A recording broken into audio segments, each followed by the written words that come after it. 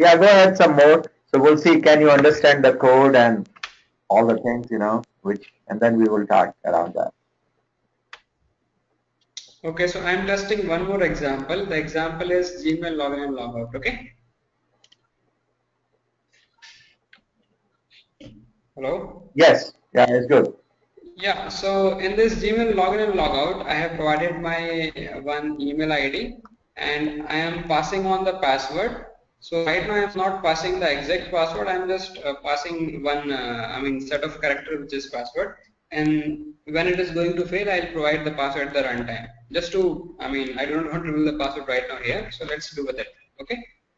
It's very powerful. If you see the code, uh, you can change anything. Yes. So I started executing it.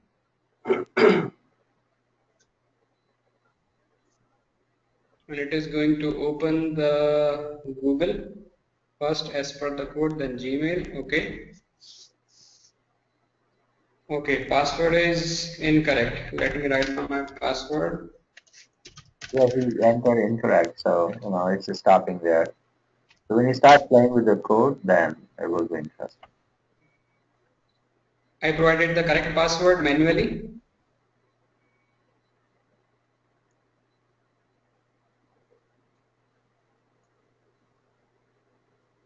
um, we'll upload and uh, all these things uh, tonight. So the simple test case, right? Yes. So if you see the before annotation, in before annotation, what I done, that I simply opened the Firefox using the same code, I mean the open one, the Firefox invoked, then the base URL I used the Gmail, then driver I also provided one timeout as 60 seconds I am giving 60 seconds I mean it works as uh, works in milliseconds but I intentionally provided time unit dot seconds so it will be waiting 60 seconds to uh, I mean uh, wait for the Firefox to be up with this uh, uh, this uh, base URL and then next one what I'm doing is driver dot get base URL plus I mean the next one base URL plus all these I mean URL what I already get from the ID I mean the element inspect and again I am inspecting all the elements and I'm using the same like find element by ID email. Then I put on clear that it's clear then I'm uh, passing on.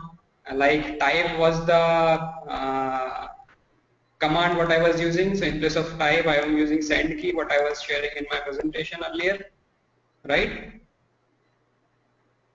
This one, type in place of type, I am using send keys, and in send keys, I'm uh, passing the sequence like this is my email ID. Then again, I am using the next field and uh, then clicking on the password field, making it clear, and then putting the password as my password, whatever I am having. And then click on sign in. Then on the XPath this is a division for which I was clicking from Gmail. And then click on the next ID the sign out one the ID is GB underscore 71 and the after annotation simply I am quitting the uh, Firefox that's it. Simple code is this. Make sense? Yeah that's good. So um, I think we should end here. Um, um,